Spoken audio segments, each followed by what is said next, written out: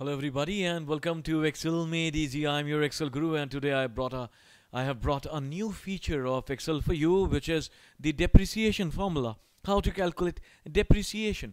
Uh, say for example, uh, I have taken an example of purchase price, the salvage value, the life in years. Say I bought a car for say $5,000 and they say that in the government people they say that every year your vehicle or has to uh, depreciates in value.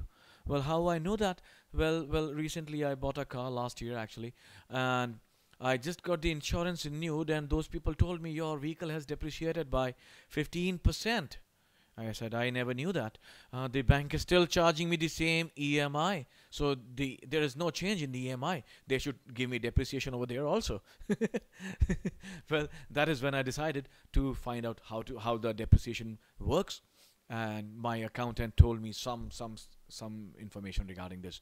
Well, I also then checked out how the banks actually calculate your EMIs or what portion of your EMI is your interest for that loan. And I, I created a formula uh, video for that. It is called IPMT IPMT let me type it for you.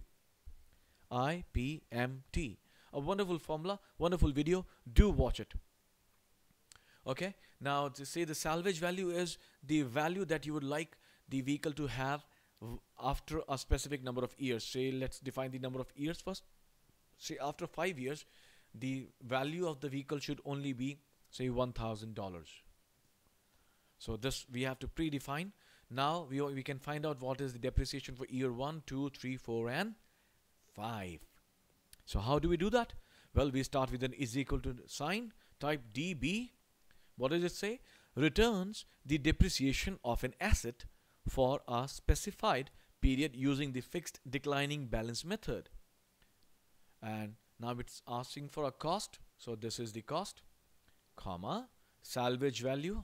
This is the salvage value which is equal to the value you would like to have of the vehicle or of the property or of whatever at the end of the loan period and the loan or, or of the life. And this is the life I mentioned comma now it's asking for period.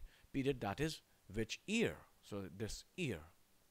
If you want to have months also you can simply multiply it by 12 and now close the bracket and say enter.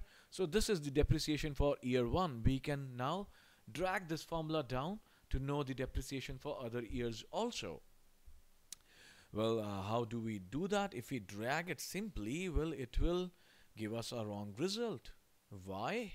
Because when we drag it down the columns and the references also change automatically. So we have to fix the references.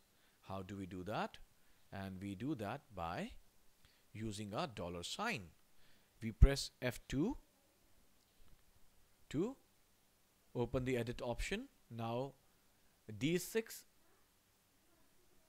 D6 is the purchase value. So you fix it by pressing F4 and then D7 again as a salvage value you also again press it by fix it by F4 and then you have to fix the life.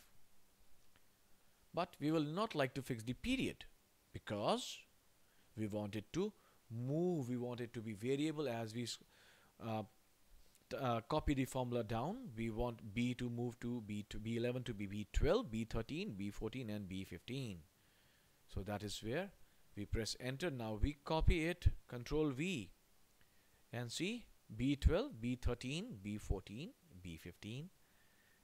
This is the total depreciation value. We wanted it to be 4,000. That's the difference between 5,000 and 1,000. And it has given an approximate of 3998.48.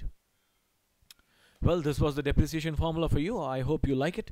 And you can also go to Facebook and like me over there. I You can find me by the name Excel Made Easy over there. Hope you like this formula. Well, then this is your Excel Guru signing off for the day. Have a wonderful day ahead. Happy Excel learning.